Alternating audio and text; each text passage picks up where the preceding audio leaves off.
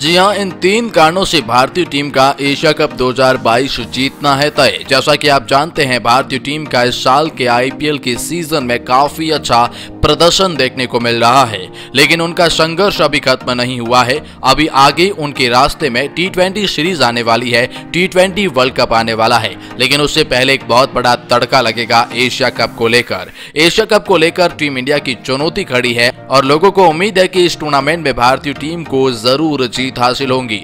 लेकिन इसके पीछे ये तीन बड़ी वजह काम करने वाली है और इन तीन चीज़ों को मानकर लोग ये देख रहे हैं कि अगर ऐसा ही रहा तो फिर ये टीम इंडिया एशिया कप की नहीं, बल्कि टी ट्वेंटी वर्ल्ड कप की भी विनर होंगी। लेकिन आखिर ऐसे कौन से तीन कारण है जो भारतीय टीम को जीत की ओर ले जाएँगी? ऐसे कौन सी तीन बातें निकल कर आ रही है? आज की इस वीडियो में हम आपको बताने वाले हैं। तो यहाँ से वीडियो को ध्यान से और पूरा ज़रूर देखेगा। वीडियो में आगे बढ़ेंगे और आपको बताएँगे सब कुछ, लेकिन आगे बढ़ने से पहले अगर आप भी हैं टीम इंडिया के बहुत ही बड़े फ़ैन तो वीडियो को लाइक करके अपना सपोर्ट ज़रूर दिखाएँ।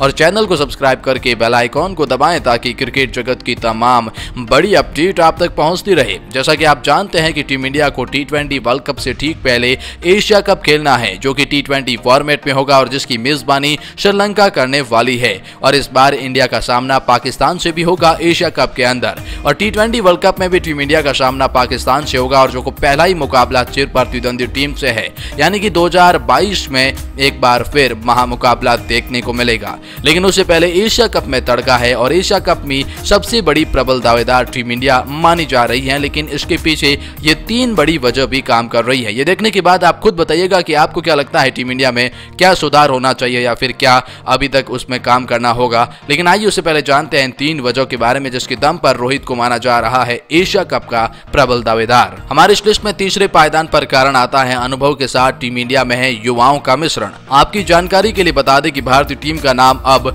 मज़बूत टीमों की गिनती में आने लगा है। वो भी इंटरनेशनल क्रिकेट की तीनों फॉर्मेट में। वही टीम में एक और कप्तान रोहित शर्मा विराट कोहली और के राहुल जैसे धुरंधर बल्लेबाज है, जो दूसरी और युवा खिलाड़ी जैसे ऋषभ पंत, ईशान किशन, देवदत्त पडिकल, ऋतुराज गायकवाड़ समेत कई अच्छे खिलाड़ी है। सबके अलावा इन टीम के कोच और कोई नहीं, बल्कि भारतीय टीम के पूर्व कप्तान राहुल द्रविड़ है, जो इस टीम के एशिया कप में फ़ायदेमंद साबित होने वाली है। टीम इंडिया के पास जो अनुभव के साथ साथ युवाओं का मिश्रण है और जो कोचिंग की जो बहुत बड़ी बात रहने वाली है, इन सबको देखकर यही लगता है कि टीम इंडिया इस बार एशिया कप की बाजी मार सकता है। इसमें दूसरा बड़ा कारण आता है। आंकड़े भी दे रहे हैं कप्तान रोहित शर्मा का साथ। जैसा कि आप जानते हैं कि भारतीय टीम मौजूदा समय में विश्व की टॉप टीमों में से एक है, जो खेलने वाली सात टीमों में काफ़ी अच्छी है।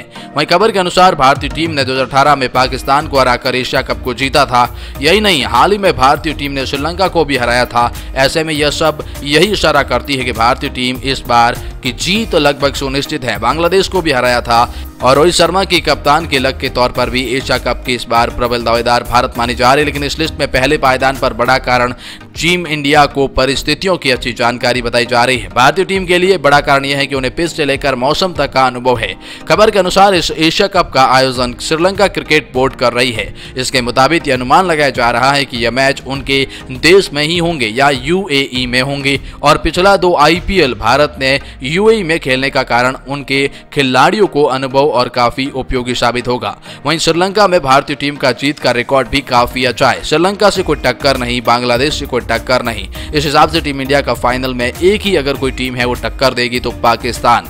अगर उनसे जीत गए तो भारत ये फाइनल जीत जाएगा, एशिया कप जीत जाएगा। एशिया कप की ज़्यादा बार ट्रॉफी जीतने वाली भारतीय टीम ही रही है। इस बार भारत का बैलेंस अच्छा कैप्टन अच्छा लक वाला। आप क्या सोचते हैं कि इस बार भारत एशिया कप जीत पाएगा या नहीं? कमेंट सेक्शन में अपनी राय बताएँ और भारत को किस कमी पर काम करना चाहिए, ये भी आप अपनी राय में ज़रूर बताएँ। बाकी फ़िलहाल इस वीडियो में इतना ही।